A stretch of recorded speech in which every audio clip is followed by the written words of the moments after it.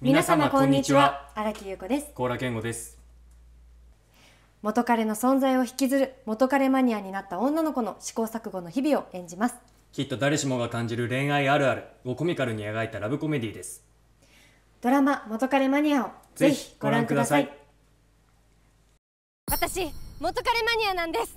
5年前に別れた男を引きずる27歳女子。どこにいる元彼の検索はみんなするでしょ。そんな彼女が出会ったのは好きなものは好きでいい。見た目も性格も元彼とは真逆の男。まさかの恋が始まりかけた時私またまこちに会えちゃったみたい。振り回さないであげて。振り回す？俺が？なんかまこち変わっちゃったね。元彼マニア10月17日スタート